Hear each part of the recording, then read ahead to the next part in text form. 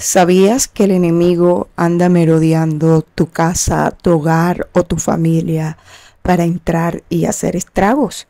Porque la Biblia dice que él anda como león rugiente buscando a quien devorar. Por eso quiero que te quedes hasta el final viendo este video, porque hay tres puertas por donde él entra a un hogar y hace mucho daño. Así que presta mucha Atención. Tres puertas que el diablo usa para entrar en tu casa. El diablo es un adversario astuto que busca obtener acceso a nuestras vidas y desviarnos.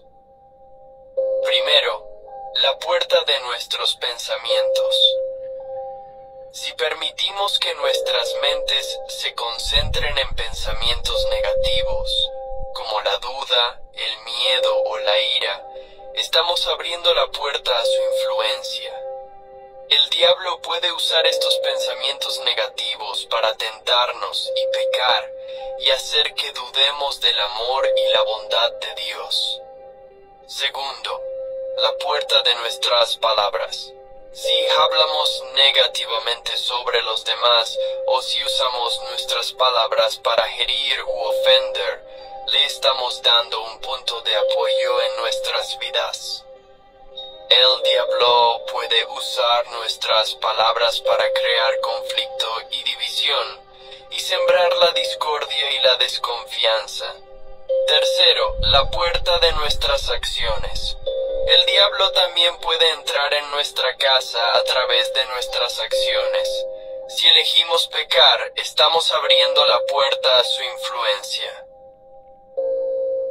Diablo puede usar nuestros pecados para controlarnos y mantenernos separados de Dios. Una vez que el diablo tiene acceso a nuestras casas, puede causar estragos en nuestras vidas. Puede hacernos dudar de nuestra fe, tomar decisiones equivocadas y hacernos daño a nosotros mismos y a los demás. Si no deseas caer en estas tentaciones, comenta. Señor, líbrame de todo mal. Amén.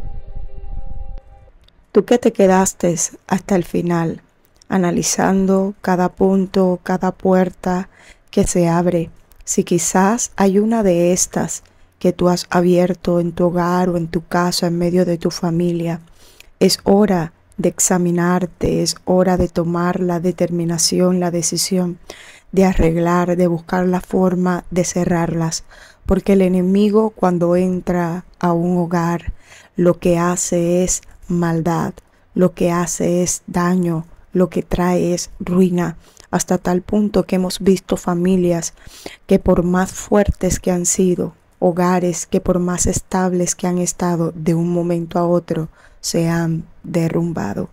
¿Qué opinas de todo esto?